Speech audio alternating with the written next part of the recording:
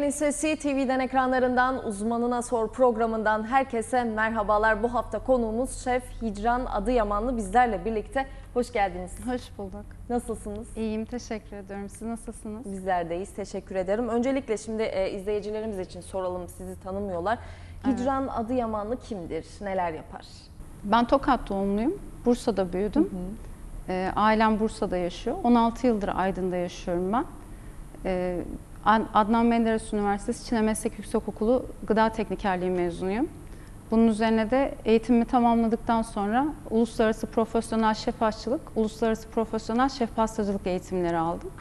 Ee, daha sonrasında da işime bir fabrikada veya herhangi bir e, özel işletmede başlamak yerine dedim ki bildiğim şeyleri neden insanlarla paylaşmıyorum, neden bunu yapmıyoruz diye. E, daha sonrasında eğitimler vermeye başladım. Sonra halk eğitim merkezlerinde çalışmaya başladım. Germencik Halk Eğitim Merkezi, İncirlova Halk Eğitim Merkezi, Karacasu Halk Eğitim Merkezi'nde görev yaptım. E, dışarıya sipariş pastalar yaparak da e, bir yandan çalıştım. E, bu şekilde başladı. Peki e, bu işe nasıl başladı? Ya pasta sevdası, ne bileyim yemek Evet. sevdası nereden geldi? Benim e, lise zamanından beri zaten vardı. Lise birinci sınıftan itibaren e, mutfağa bir aşinalığım vardı zaten. E, meslek lisesi mezunuyum ben. Mutfağı seviyorum, işimi seviyorum. E, gıda mezunuyum evet bitirdim ama mutfağa daha bir aşinalığım var. Seviyorum pasta yapmayı, seviyorum ürünleri hazırlamayı, sunumları, servisleri, e, öğrenciler yetiştirmeyi seviyorum yani işimi çok severek yapıyorum. E, Bir de şöyle bir şey de oldu bizde. E, Benim öğrencilerimin e, büyük bir kısmı mesela ev hanımları.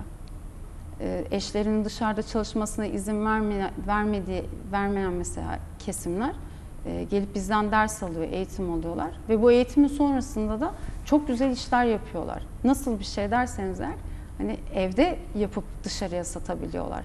Böyle bir imkanları var. E, Böyle bir yol açtık. Çok da güzel devam etti. Kurs veriyorsunuz Evet, aynı kurs zamanda. veriyorum. Nerede veriliyor bu kurslar? Halk E, eğitim Halk eğitim merkezinde. Evet. Neler yapıyorsunuz? Ee, E, Kaç kişilik şöyle- bir e, ekip var orada? Evet şöyle e, 12 kişilik e, kişiler yani 12 12'şer kişi oluyor. E, ve 12 kişiyle bir kurs açıyoruz ama daha sonrasında da biz bunu tabii 12 olarak kontenjan sınırlaması yapıyoruz ama bu daha da fazla artıyor tabii. E, talep yoğun oluyor bayağı bir. E, bir de şöyle bir şey dersin içeriğinde müfredata uygun ama e, mesela bir patates salatasıdır veya bir normal kektir, poğaçadır. İlla ki herkesin evinde eli una değmiştir. Bizim amacımız birazcık daha böyle onu aşmak. Daha farklı ürünler yapmak, daha farklı şeyler ortaya çıkarmak. E, ve kişisel pasta sergisi yaptım ben.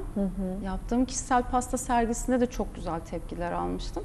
Ve ben yanımdaki öğrencilerimden birini yetiştirdim ve onunla birlikte bu yola adım attım.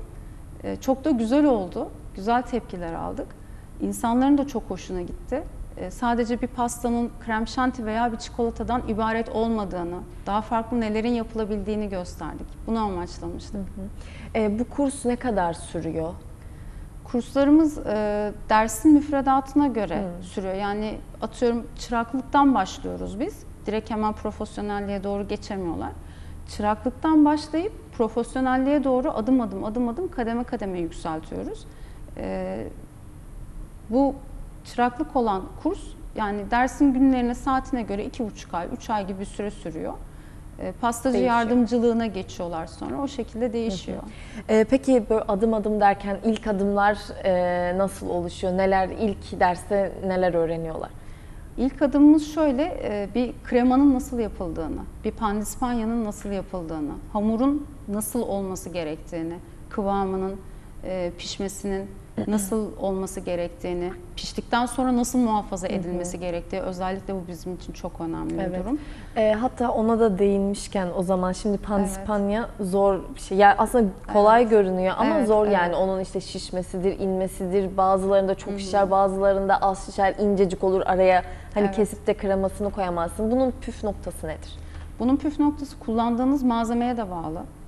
Bazı insanlar e, diyorlar ki işte hocam biz yapıyoruz ama bu neden olmadı? Benim kekim kabarmadı veya bir poğaça yapıyorum. Poğaçam çok sert oluyor. Piştiği zaman yumuşak ama daha sonrasında çok sert oluyor. Yiyemiyoruz diyorlar. Şimdi bizim de amacımız zaten bu çözümü bulmak. Onlara bunun asıl nasıl olduğunu öğretmek. Biz de şöyle bir şey yapıyoruz. Sıfırdan olduğu gibi her şeyi baştan yapıyorlar. Özellikle nerede hata yapıyorlarsa ben bilmeliyim ki ben onu öğretebilmeliyim yani. Siz diyorum neyi bilmiyorsunuz? Keki mi? Keki yapıyorum, iyi kabarmıyor. İşte bir poğaça yapıyorum, bu tutmuyor gibi. Diyorum ki o zaman tamam gelin sizinle birlikte bunu yapıyoruz o zaman. Nerede eksiklikleri varsa direkt oradan yapmaya başlıyoruz. Çok güzel bir şey çıkıyor ortaya ve e, nasıl yapıldığını, tekniğin ne olduğunu, hamurun kıvamını, işte çok yumuşak mı olmalı, çok sert mi olmalı? Kullandığımız malzeme de çok önemli bizim için. E, yani ısı derecesi, piştikten sonraki muhafaza etme dönemi çok önemli. Bu şekilde Peki yapıyoruz. yumurta sıcak mı olmalı, soğuk mu olmalı? Yumurta sıcak mı soğuk mu olmalı? Ya yumurtayı O da soğuk da mı yoksa? soğuk da yapsanız aniden apar topar bir şey hazırlamanız gerekiyor hemen mesela. Eve misafiriniz gelecek. Hemen çıkartıp yapabilirsiniz de aslında. Ya bunun onunla bir ilgisi yok. Neyle Yapma ilgisi? aşaması içerisinde zaten e, mikserle çırpma işlemi yaptığımız için veya elle yoğurma işlemi bir hamuru yaptığımız zaman sıcağı zaten yiyor. Normalde aslında oda sıcaklığını tercih ediyoruz. Ama böyle ani e, gelişen bir durumda da hemen direkt buzdolabından çıkardığımız gibi birazcık dışarıda bekletip hemen kullanabiliyoruz. Yani bazen ölçekli de yapsak, hani tam tarife uygun bir şekilde ölçek de olsa Evet. yine tutmayabiliyor. Ama Evet. mesela bazen de göz kararı, işte ne bileyim e, unu koyarken direkt böyle boşaltıp da e, süzerek de koyabiliyorlar. Evet. Yani nasıl yapmalılar? Tam böyle püflere değinsek, işte ne bileyim e, dediğim gibi sıcak yumurta mı, soğuk yumurta mı bunların ilgisi yok dediniz. Tamamen e, diğer malzemelere mi Evet. bağlı ya da Evet. karıştırma şekli mi? Şöyle bir püf nokta söyleyeyim size o zaman. Pandispanyayı biraz önce demiştiniz ya nasıl kabarıyor ya da e, ne yapmam gerekiyor diye. Hamuru hazırlayacağımız aşamada ilk önce yumurtayla toz şekeri iyice çırpmanız gerekiyor.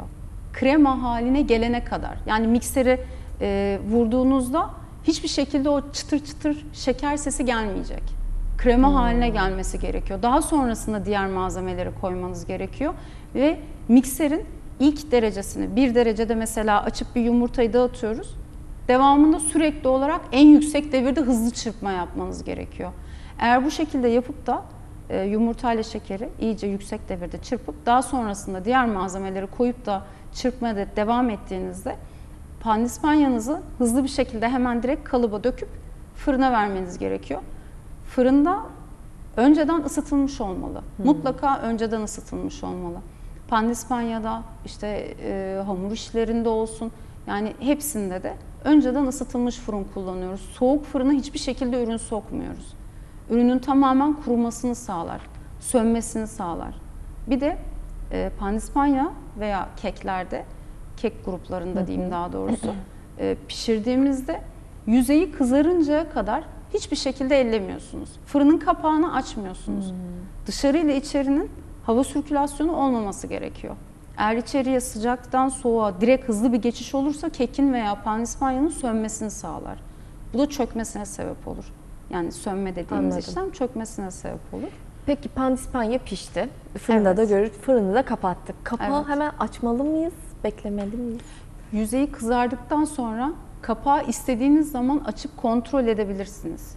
Böyle sonuna kadar tam açmak değil de hafif böyle bir açıp kontrol edip tekrar kapatabilirsiniz. Kürdan batırıyoruz Ha, kürdan. genelde. Kürdanla bakıyoruz, kontrol ediyoruz. Eğer kürdana zaten hamur kalıntısı gelmiyorsa o pandispanya pişmiş olmuş demektir. Tamam. Piştikten sonra kapağı açabilir miyiz? Ay, Evet, söner piştikten mi? sonra açabilirsiniz. Hayır sönmez. Heh, tamam. Kızardık, kızarıp piştikten sonra orada bekletmenize gerek yok. Direkt çıkartabilirsiniz. Ve bildiğiniz süngerimsi şekilde üzerine baskı uyguladığınızda e, sünger gibi onun tekrar kabardığını, kalktığını görürsünüz zaten. Anladım. Pandispanya böyle. Bunun püf noktasını öğrendik. Evet. Peki yumuşak poğaçalar. Ya bir de onların bir ismi vardı. Şu an tam hatırlamıyorum ama. Evet. Yumuşak poğaça diyelim. Evet. Ee, simit miydi? Bir de Hı hı. simit vardı. Evet. Onun peki yumuşaklığı nasıl?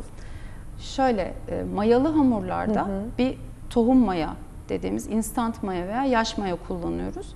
E, mayalı ürünlerde unu hamur istedikçe unu birazcık daha elden bırakacak şekilde olsun diye uğraşıyorlar mesela. Hani hamur yoğururken un koyuyoruz. İşte elimizde bıraktı tamam o zaman bu hamur diyoruz. Öyle bir şey yok. Bu yanlış. Bunun- Cıvık mı olmalı? bu şekilde olmamalı. Elinize birazcık yapışır kıvamda olmalı. Onun yüzeyine daha sonra işte birazcık bir parça böyle e, zeytinyağı veya ayçiçek yağı fark etmez yağ koyup iyice yoğurduğunuzda hamurun üzerine bir nemli bezle kapatıp ondan sonra bırakın mayalanmaya. Mayalandıktan sonra işlemi yapın. Hangi şekli verecekseniz işte iç dolgusu koyacak mısınız, koymayacak mısınız? Bunları yaptıktan sonra bu işlemleri daha sonrasında direkt yapabiliyorsunuz. Yani hemen e, birazcık daha mayaya bırakıp şekillendirdikten sonra direkt önceden ısıtılmış fırına verin. Hiçbir şey olmaz o zaman. Ekmekte de aynı şey geçerli mi? Evet. Ekmekte Ekmek de aynı de şey geçerli. Evet. Ekmekte poğaçaya göre birazcık daha bir tık daha sert ama yumuşak bir hamur oluyor. Çünkü mayalanma süresini birazcık daha fazla bekletiyoruz onda. Peki kendinize özel yaptığınız yemekler var mı? Sizin Evet. spesiyeliniz. Evet. Onlar neler? Kişisel e, yapmış olduğum bir sürü birçok ürün var. Değişik salata spesiyallerim var, sos spesiyallerim var, işte kurabiye spesiyallerim var. Yani bunları normalde e, deneyerek zaten hepsinde kendim buldum. E, bir mesela bir poğaça tarifi verebilirim ben size. Pespito sos isminde bir poğaçam var. Kendi Benim tarifiniz. kendi tarifim. Olur alalım Onun onu? e, hamurunu normal mayalı hamur şeklinde hazırlıyorsunuz. Yuvarlak yuvarlak e, hamburger ekmeği gibi tepsiye diziyorsunuz. Üzerine bir nemli bir örtü örtüp direkt onun mayalanmasını Öyle mayalanacak o. Evet, o şekilde mayalanacak. E, daha sonrasında buna bir sos hazırlıyoruz. Hazırladığımız sosun içerisinde e, birazcık domates salçası, çok az bir şey biber salçası, bildiğiniz çiğ susam olacak. Çiğ susam, sarımsak olacak bir iki diş. Ee, biraz kekik, çok az bir şey karabiber, kırmızı biber, kimyon. Bunların hepsini havanda sos iyice özdeşleşinceye kadar dövmeniz gerekiyor. Bu yaklaşık şöyle bir tahmini 20-25 dakika falan sürüyor. Dövüyorsunuz iyice. Onu dövdükten sonra poğaçanın her yerini kaplayacak şekilde sürüyorsunuz. Bardakla orta kısmına hafif bir çukur açıyorsunuz. Oraya da kaşar peyniri, rendelenmiş kaşar peyniri koyuyorsunuz. Daha sonra onu direkt fırına veriyorsunuz. Önceden ısıtılmış fırına. Çok güzel ve lezzetli oluyor. O içerisindeki yani sosun içerisindeki işte yağıdır, işte salçasıdır, miktarları bile çok önemli. Kıvamı, o sarımsak bile mesela koyduğumuz zaman içerisine bir diş bile sarımsak rendelesek anında bildiğiniz o tadı, lezzeti değiştiriyor. Aroma vermesi için bunları kullanıyoruz zaten. O şekilde yapıyoruz. Çok da güzel, lezzetli bir poğaça elde etmiş oluyorsunuz. Mayalandıktan sonra hamur Evet. mayalandı.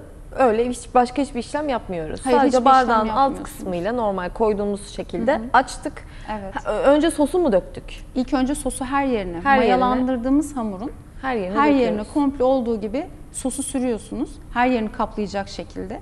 Daha sonra bir su bardağı veya bir çay bardağı olabilir. Arka kısmıyla direkt hamura orta kısmına çukur açıyorsunuz. İçine kaşarı mı koyduk? Rendelenmiş kaşar peyniri Piştikten koyuyoruz. sonra değil değil mi? Hayır hayır direkt koyuyorsunuz. Birlikte pişecekler. Evet birlikte pişecekler. Yanmıyor mu? Hayır yüzeyi çok güzel nar gibi kızarmış şekilde çıkıyor. Hamurumuz da zaten çok sert bir hamur olmayacak. Yumuşak bir hamur olacak. Onu fırında böyle pişirip çıkarttığımız zaman böldüğümüzde bile böyle yumuşacık bir hamur elde etmiş oluyoruz. Çok güzel poğaçalar oluyor. Peki başka var mı böyle değişik tarifler? Değişik tariflerim var, çok var. Böyle en çok kullandığınız, sizin de hoşunuza giden, çok beğendiğiniz eee, onlardan birkaç tane olabilir. Ya Makarna tariflerim var mesela çok güzel. Salata tariflerim var çok güzel. Şimdi tam yaz mevsimi aslında, tam salata. Evet. Eee, böyle daha fresh, daha şu an eee, yenilebilir tarzda, sıcaklarda yani akşamları. E, hepimiz de her gün, herkesin evinde her akşam salata yapılıyor. Evet. Onun için bir günde değişik bir salata denesinler sizin tariflerden. Şöyle e, çok basit aslında evde bulunabilen malzemelerle yapılabilecek bir şey tarif vereyim ben size o zaman. E, bir tane bir paket makarnayı normal haşlıyorsunuz. Onu haşlayıp süzdükten sonra bir veya iki parçada tavuk göğüs eti. Eğer bir paket makarnadan yapacaksanız iki paket tavuk göğüs eti. O tavuk göğüs etlerini güzelce haşlıyorsunuz. Makarnanın içerisine haşladığınız tavuk göğüs etlerini gidiyorsunuz. Onun içerisine bir, birazcık süzme yoğurt, birazcık da mayonez. Mayonezi bir tık e, az olacak. Süzme yoğurdu bir tık fazla olacak. Bunu hazırladıktan sonra içerisine çok az bir şey nane, birazcık e, ceviz, salatalık turşusu, kornişon turşu dediğimiz salatalık turşusu koyuyorsunuz. Birazcık da sarımsak. Bunların hepsini karıştırıyorsunuz. Makarna ve salat e, makarna ve haşlamış olduğunuz tavukla bu sosu karıştırın güzelce, harmanlayın. İçerisine biraz da iri dövülmüş ceviz olacak. İri kıyım ceviz. Çok böyle un gibi incecik olmayacak. E, iri kıyım cevizi de koyduktan sonra güzelce harmanlayıp karıştırıyorsunuz onu. İçerisine birazcık dereotu bir tutam, bir tutam maydanoz. Onları incecik kıyıyorsunuz. Onu da koyun üzerine. Daha sonra servis tabağına alın. Onun üzerine streç filmi kapatın. Buzdolabına koyun. Bir saat sadece dinlenmesini bekleyin. O bir saat dinlendikten sonra tavada e, birazcık tereyağı ve kırmızı toz biberi eritin. Onu da servis yapacağınız zaman direkt üzerine dökün. İnanılmaz lezzetli oluyor. Bu salata mı? Evet bu salata. Bununla doyarız. Evet. Akşam yemeği bu, ana yemek. E, sosyal medyayı da çok aktif kullanıyorsunuz. Orada da Evet. değişik böyle pastalar, işte ne bileyim börekler, çörekler var. En çok dikkatimi çeken e, pirinç patlağından yapmış olduğunuz bir e, pasta sanırım. Evet. Onu niçin yapmıştınız, nasıl yaptınız? Pirinç pas, e, patlağından pasta nasıl oldu? Şöyle, e, ben Türkiye'de ilk kişisel pastacılık sergisini yaptım. Sergi benim sergimde 3 gün sürdü. E, sergimi yaparken çok büyük bir, geniş çaplı bir araştırma yaptım ben. Farklı bir şey olsun istedim. Herkes zaten dedim hani krem şanti veya çikolatalı pastalara alışmış. Alışılagelmişin birazcık daha dışında dedim neler yapabiliriz. E, ve yenilebilir pirinç patlağından yapılma kağıtlar var resim baskı yine. E, hiçbir şekilde zararı olmuyor onların. E, bunu pastanın üzerine krem şantiyi kapladıktan sonra direkt üzerine koyuyorsunuz. Üzerine başka hiçbir e, jöledir veya herhangi bir şey sıvı sürmenize gerek kalmıyor. E, direkt bu şekilde pastanın üzerine krem şanti sürdükten sonra resmi koyup etrafını süslemesini yapıp direkt öylece yiyebiliyorsunuz. Bunu- Pastayı sadece servis yapmadan 2-2,5 saat e, süre öncesinde koymanız gerekiyor.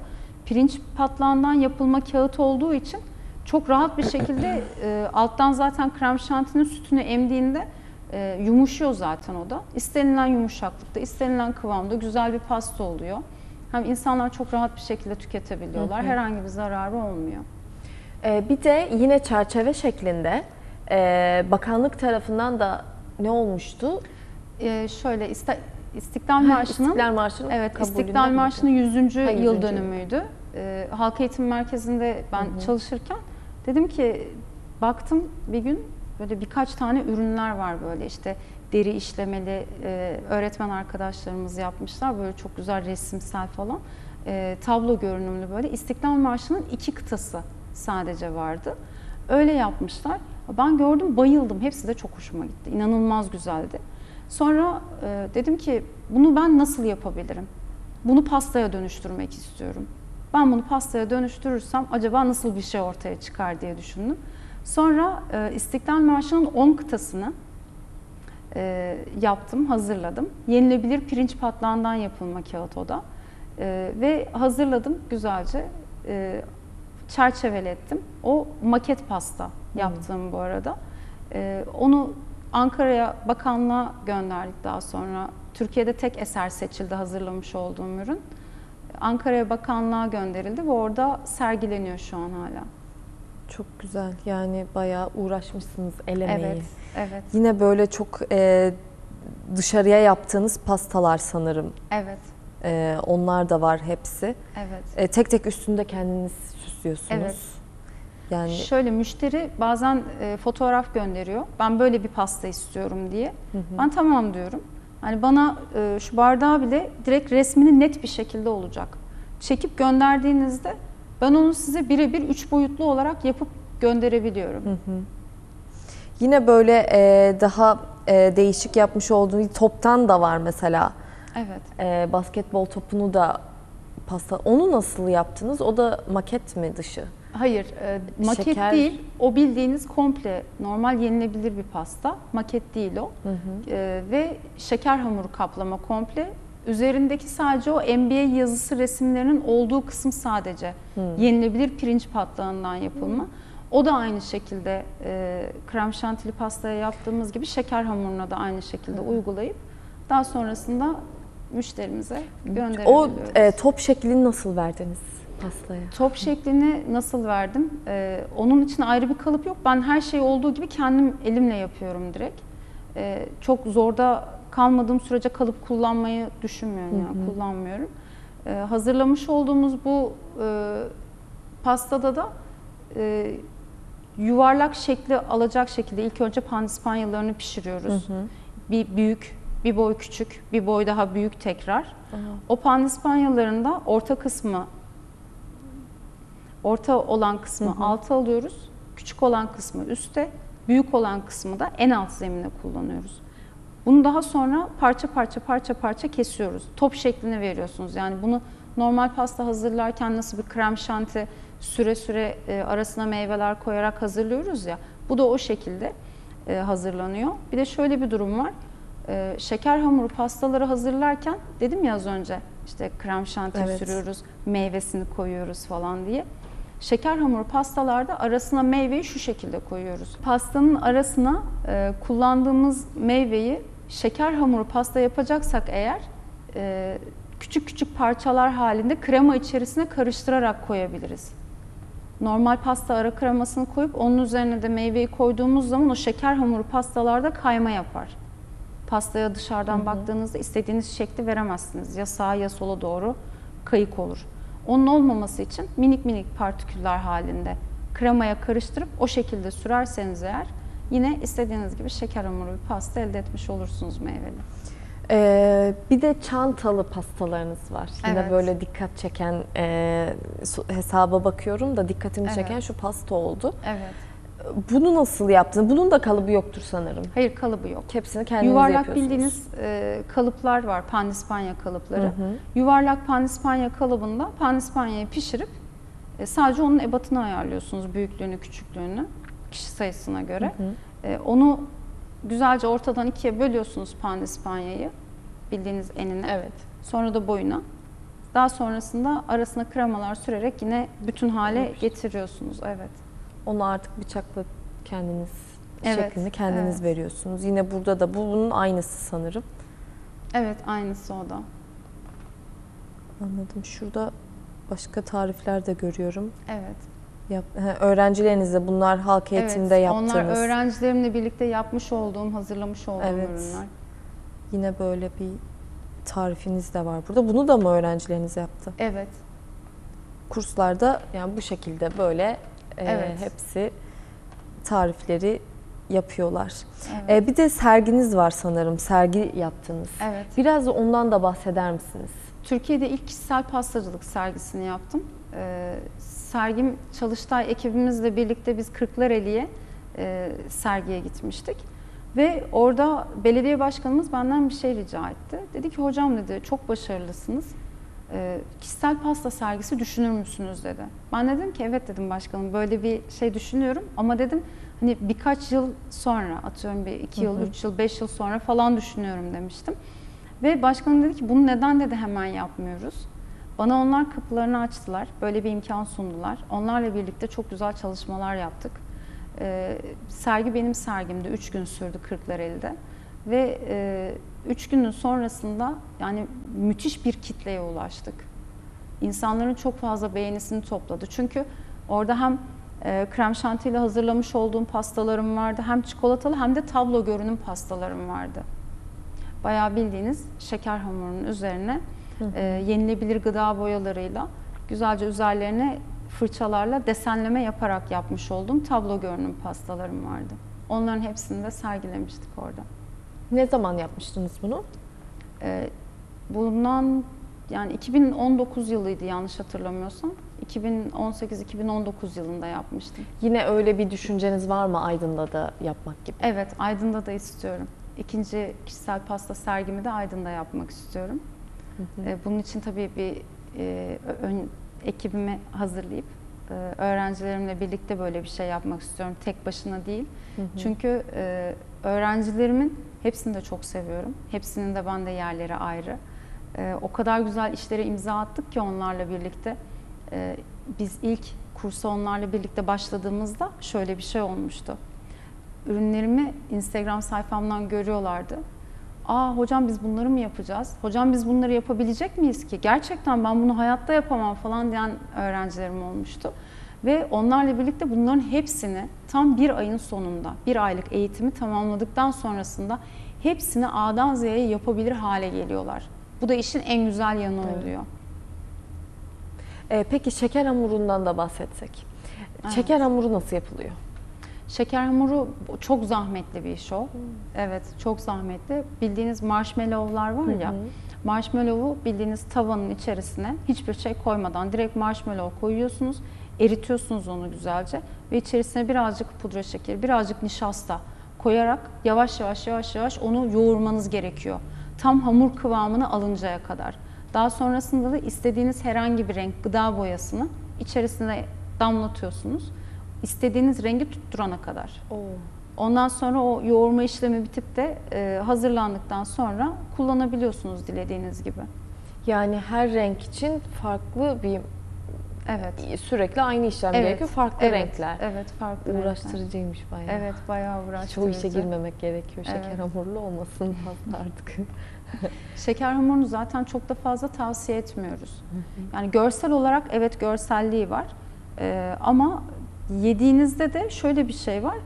İnce bir şeker hamuru açıp da eğer yaparsanız o zaman çok da fazla bir sıkıntı olmaz. Ama ben bazen görüyorum mesela yapan arkadaşlarımızdan e, çok kalın kullanıyorlar. Mesela şeker hamurunu kalın bir şekilde açık bırakıp pastanın üzerine direkt onu kaplama Hmm. yapıyorlar. Bunu bazen diyorum bunu yapmayın. Çünkü pastayı müşteri keseceği zaman alıyor onu şeker hamurunu güzelce çıkartıp çöpe atıyor bildiğiniz ve kalan kısmını kesiyor. Tabii ki. Ama öyle yapmak yerine incecik bir tabaka yaptığınız zaman hiçbir zararı bir şeyi olmuyor. Rahat bir şekilde yiyebiliyorsunuz yani o pastayı. Ben bu zamana kadar hiç e, mesela o kadar yani yıllardır bu işin içindeyim. E, hiç böyle bir şeyle karşılaşmadım yani müşterilerimden olsun hani ya çevremden, arkadaşlarımdan olsun. Böyle bir şeyle hiç karşılaşmadım yani. Zaten görselde de kaba duruyor. Yani direkt e, çok kalın olan şeker hamuru kendini çok çabuk belli ediyor. Evet. Bir pastada bir tutarsızlık oluyor yani. Evet. Gözle görülebiliyor. Hani bu işi yapmasak da gözümüz Evet. görüyor, görebiliyoruz yani o şekilde. Bir de e, bazen müşterilerim diyorlar, fotoğraf atıyorlar bana. E, işte Hicran Hocam biz böyle bir şey istiyoruz ama yine de sizin aklınızda farklı bir fikir varsa hani onu da görebiliriz diye. Bazen müşterilerim attıkları fotoğrafın e, birebir aynısını istiyorlar. Bazıları da biz bu tarz bir şey istiyoruz ama tamamen sizin spesiyelinize bırakıyoruz diyorlar. Ve kendim tasarlayıp yapıyorum. Ve müşteriye pasta hazır olduğu zaman fotoğrafını ve videosunu çekiyorum. Müşteriye gönderiyorum. Pastanız hazır diye. Üç boyutlu bir şekilde komple fotoğrafını, videosunu çekiyorum ki müşteri baksın, görsün. İçine sinmeyen herhangi bir durum olursa eğer bunu değiştirebileyim diye. Onu gönderiyorum ve dediğim gibi yani yıllardır bu mesleğin içindeyim. Hiç daha çok şükür e, nazar değmesin. Hiç böyle bir şeyle de karşılaşmadım. Hiçbir sorun olmadı yani. Peki e, son olarak böyle toparlamak gerekirse programımızın da sonuna e, geldik. Neler söylemek istersiniz? Ee, çok güzel şeyler yapacağımıza inanıyorum. Ee, bir kişisel pasta sergisi çok kısa zamanda Aydın'da da düşünüyorum. Ee, daha fazla inşallah güzel işlere imza atarız. Teşekkür diye ederim. düşünüyorum. Katıldığınız için güzel e, püf noktaları verdiniz, değişik tarifler de verdiniz. Ben Evet. teşekkür ederim katıldığınız için. Çok sağ olun. Ben çok teşekkür ediyorum. Evet değerli izleyenler Uzmanına Sor programının sonuna geldik. Haftaya yeni bir konu, yeni bir konukla görüşünceye dek hoşçakalın.